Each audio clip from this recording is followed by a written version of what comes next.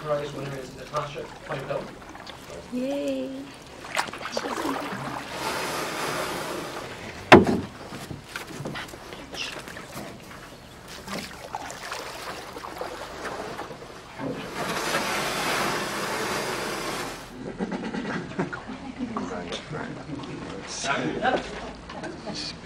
Right.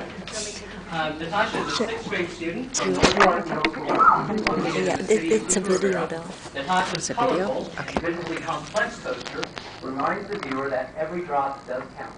Natasha's poster will be featured in MWD's MWD's 2010 Water is Life calendar, as well as on water bottles, note cards, magnets, and other promotional items.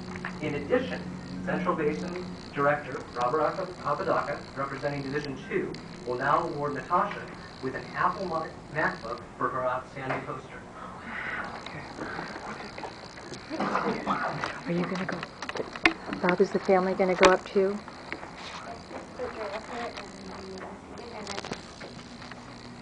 I think they'll have you go up. One, two, and three. And if we can get one with the entire board? And then the family. Yes. And the family. I'll give you the uh, picture with the board, and then I'll take, and then I'll ask you guys to come up. So hold on real quick.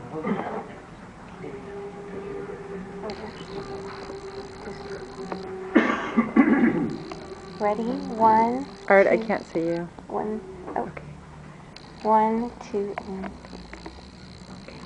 And then can I get the family up there too?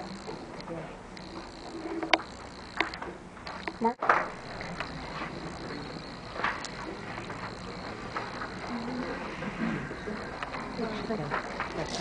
Tried to keep it on her.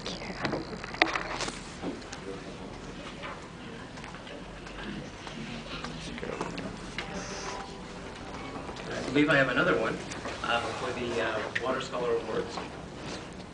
In January 2009, the Water Scholar Award, a $5,000 scholarship for water industry-related studies, was advertised to each of the district's high school principals, science department chairs, and guidance departments. In addition, the scholarship was advertised in the district's print